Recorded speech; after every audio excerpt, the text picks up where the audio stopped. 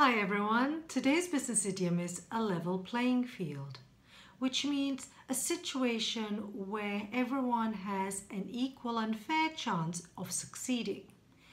So when we apply this into business, we can talk about equal opportunities, whether it's for men or women, whether it's for disabled people, having the same opportunities to succeed in their work.